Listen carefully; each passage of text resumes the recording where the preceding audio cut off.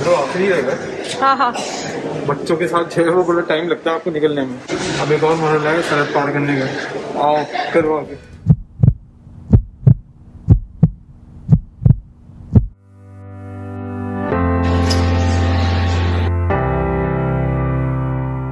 Alright, so finally we have arrived to the world's third most livable city, Adelaide. Adelaide. Yes. Yes guys, so finally तमाम uncertainties और छह महीने के लंबे इंतज़ार के बाद we were finally able to enter Adelaide and the only small requirement for us was to do a PCR test on arrival and that's all. So now let's welcome to Adelaide.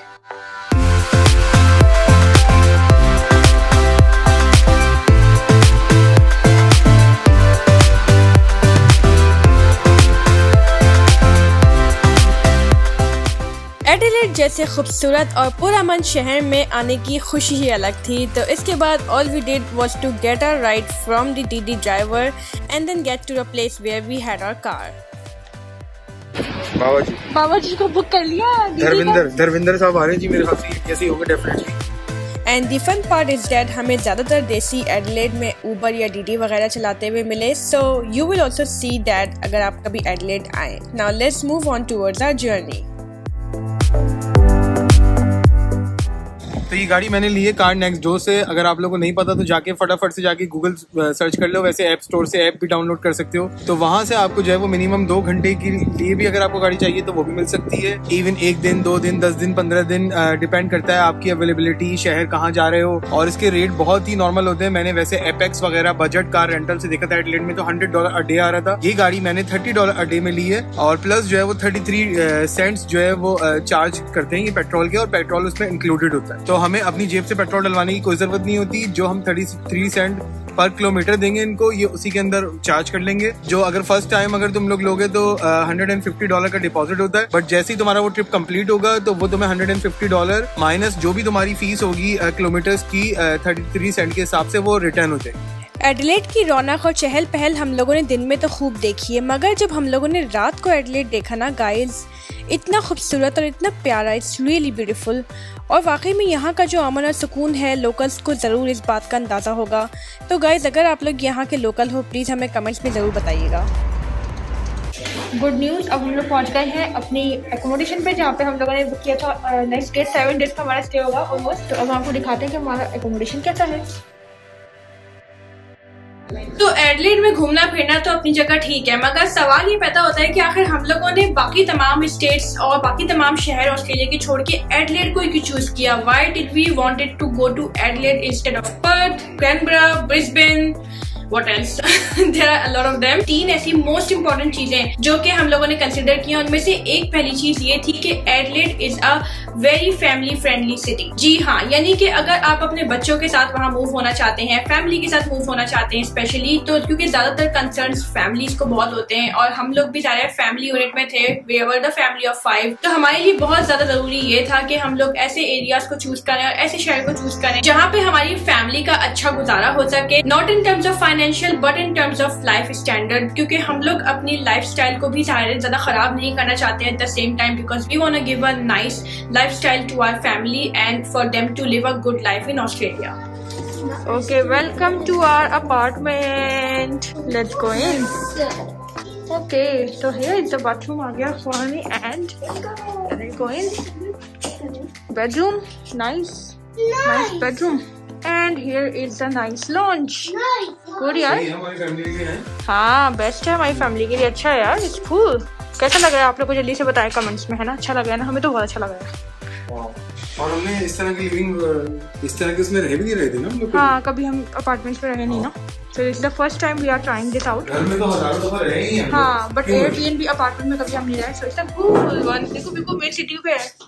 And you guys can see and ये हम लोग अपने experiences से बता रहे हैं because we know a family who lives in beautiful town in Adelaide और उन लोगों ने हमें बताया कि they are actually really happy with their place with where they live and those were one of those reason हाँ ये ज़रूर है कि वहाँ पे घर मिलने में थोड़ी सी टेंशन होती है थोड़ा सा मुश्किल होता है. But if you find a home and you live in Adelaide you are a very happy one with a family and इसके अलावा इस्लामिक स्कूल्स भी वहाँ पे हैं, जो कि हमारी प्रेफरेंस थी.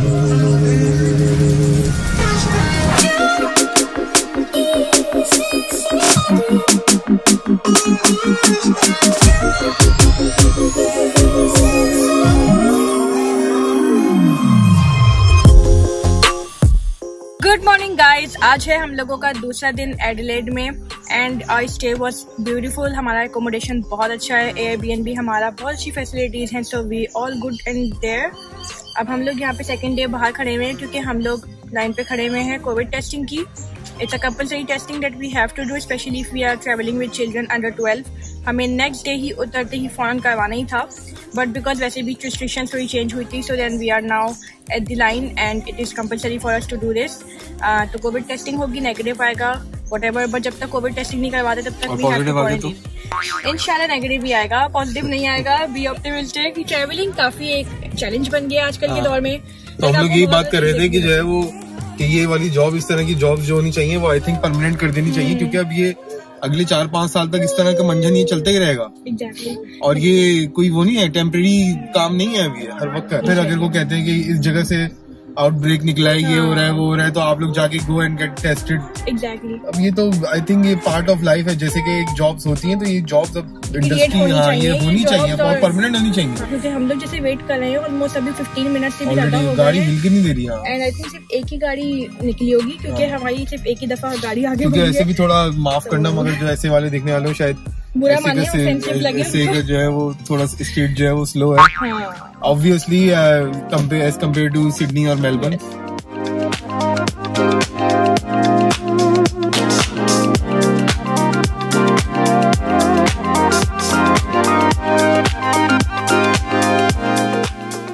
Adelaide is like a ghost town on Sunday afternoon आप लोग पता नहीं यहाँ पे अगर रहते हो नहीं रहते होगे तो यहाँ पे जो है वो बिल्कुल भी रश नहीं हो रहा और यानी कोई पब्लिक ही नहीं है मतलब लोग ही नहीं है, गाड़ियाँ भी बहुत इंसान है यहाँ। गाड़ी में कहीं भी नहीं दिखा हाँ बहुत ही कम लोग हैं मतलब as compare to Sydney Melbourne वगैरह। लेकिन आई थिंक दूसरे बाकी के दिनों में हाँ। काफ़ी रश होता है बिकॉज़ कल रात को बहुत रश हो रहा था बट ये क्या हाँ। थर्सडे को यहाँ पे आए थे और फ्राइडे को हमारा दिन गुजरा था यहाँ सिटी में तो it was quite for lot of people out there गाड़ियाँ भी बहुत थी मगर उस तरह से आज ट्रैफ़िक बिल्कुल नहीं दैट मीन की वीकेंड बिल्कुल खाली होते हुए सिटी वीकेंड नहीं संडेज संडेज नॉट वीकेंड नहीं शाम को रश होना शुरू होगा। हाँ शाम को होना शुरू होगा आई थिंक आफ्टरनून गाइस, ये जो मेरे पीछे आप लोग बिल्डिंग देख रहे हो quite an old building 1800s में बनी थी और तब से ऑपरेट हो रही है जनरल पोस्ट ऑफ़िस एड्रेट कहते हैं इसको street friends very very old like it's heritage listed और ये आने वाली जगह है तो you should definitely come and watch this one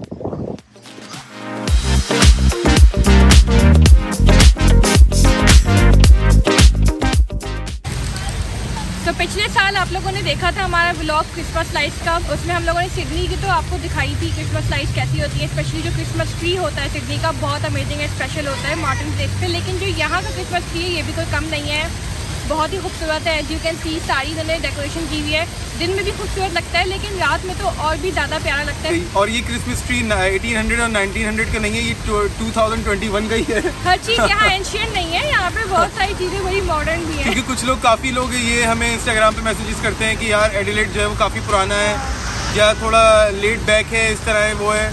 हाँ। ठीक है शायद वो समझते हैं कि obviously as compare to Sydney Melbourne होगा बट एडलेट में भी किसी चीज़ की कोई कमी नहीं है तो अगर आप लोग डेफिनेटली विज़िट करना चाहते हैं तो वी रिकमेंड ट्रैवलिंग ट्रैवलिंग अगर आप एज अ ट्रैवलर विज़िट करना चाहते हैं तो आप you should come here Second reason was that कि Adelaide is a really good city when it comes to choosing it for PR. ठीक है यानी कि अगर आप PR की कोशिश कर रहे हो तो Adelaide में बहुत सारी ऐसी स्ट्रीम्स हैं जो काफ़ी फ्लेक्सिबल हैं as compare to other states जहाँ पे बहुत ज़्यादा सख्ती है अब इसकी जितनी भी डिटेल्स है, मैं इस वीडियो में तो शेयर कर नहीं सकती because this is not about the four nine one visa in Adelaide मगर ये हमारा अपना एक्सपीरियंस था and plus the main target for us was to one nine zero यानी कि वन नाइन ज़ीरो में जो इंडिपेंडेंट टैलेंट स्ट्रीम थी डेट इज़ द वन जिसको नाइन्टी फाइव पॉइंट से अब होते हैं वो लोग आराम से इस स्ट्रीम के लिए एलिजिबल होते हैं so we were focusing on that more because हम लोगों के पॉइंट्स बहुत ज़्यादा हाई थे। सलूट करो इनको भाई उसे विक्टोरिया को सलूट करो। नहीं दोबारा करो सही से सलामी ठोको। दोबारा one two three one two three करके।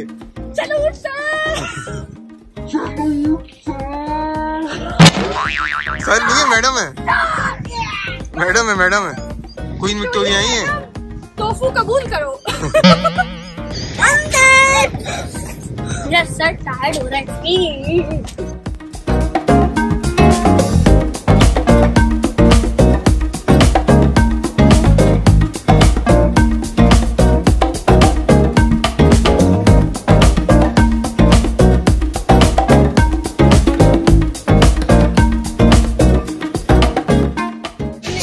जो मेरे पीछे दो झंडे देख रहे हो एक तो झंडा उसमें से ऑस्ट्रेलिया का है ऑस्ट्रेलिया का नेशनल फ्लैग है और जो दूसरा झंडा है वो किसका है भाई? वो एबोरिजिनल्स का है। और देखो यहाँ पे पीछे जो है वो काफ़ी एबोरिजिनल बैठे हुए हैं यहाँ पे बेचारे खाना वाना खा रहे हैं काफ़ी लोग होमलेस भी होते हैं। बेसिकली ऑस्ट्रेलिया को स्टार्ट करने वाले पहले एबोरिजिनल ही थे। इस ज़मीन के असली असली वारिस असली वारिस। यानी कि यहाँ पे गोरों से भी पहले ये एबोरिजिनल एग्जैक्टली हाँ। और ये उनके ट्रिब्यूट में ये फ्लैग लगाया हुआ है।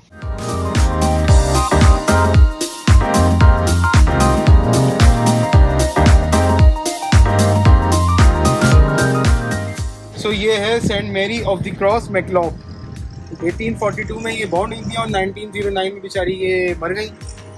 और इनके दो बच्चे? दो बच्चे थे एक बेटा था और एक बेटी थी और ये काफ़ी लोगों के जिन भी उतारा करती थी। तो जिन जिन लोगों को यानी जिन्नात का कोई मसला होता है तो यहाँ पे भी आके उतरवा सकते हैं अपने जिन। वाकई क्योंकि ये वैसी है ना बिल्कुल हाँ, पादरी किस्म की पादरी किस्म की। जैसे अगर हाँ। कोई कॉन्जरिंग वगैरह देखना चाहता है तो पहले यहाँ पे आए सलामी ले और फिर वापस जाके सलामी ले। इनसे दुआएँ ले ले। And the third reason is the Adelaide में जॉब अपॉर्चुनिटीज़ काफ़ी अच्छी हैं। And I am specifically talking about the survival jobs या वो जॉब्स बल्कि मैं सर्वाइवल नहीं कहूँगी, वो जॉब्स जो कि इमिग्रेंट्स वगैरह के लिए काफ़ी अच्छी रहती है स्टूडेंट्स के लिए। I am specifically talking about the Uber X या ऊबर ईस्ट वगैरह। एडलेट में इसका ठीक ठाक स्कोप है तो जो लोग ऊबर ईस्ट वगैरह को टारगेट करते हैं, जो लोग समझते हैं कि इसमें एक अच्छी आमदनी बन जाती है दे कैन डू दैट वो डेफिनेटली एडलेट आ सकते हैं। And because my husband was targeting those jobs as well उनको ज़्यादा बेहतर यही लगा कि he would go to Adelaide as compare to other state यहाँ पे ज़्यादा ऊबर ईस्ट ऊबर एक्स एंड बाकी की और जॉब अपॉर्चुनिटीज़ भी काफ़ी अच्छी है। सच एज हमारे एक फ्रेंड है he is working in food industry and he is quite happy with his salary as well so we are just talking about those experiences और फ्रेंड्स वगैरह होते हैं तो उसकी वजह से आपको काफ़ी ज़्यादा जानने को मिल जाता है इस शहर के बारे में।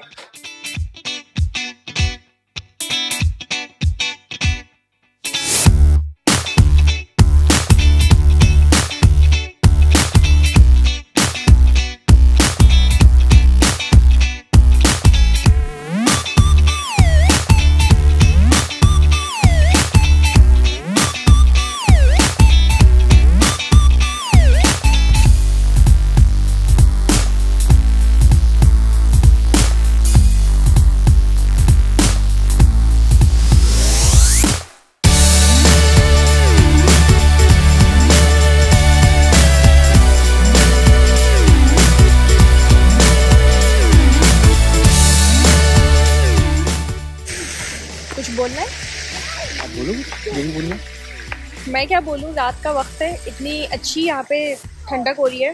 ज़्यादा ठंडक नहीं है। बहुत ज़्यादा भी नहीं है हाँ। लेकिन अच्छा बैठने वाला अच्छा मौसम और क्रिसमस की है हमारे सामने इतना ब्यूटीफुल लग रहा है।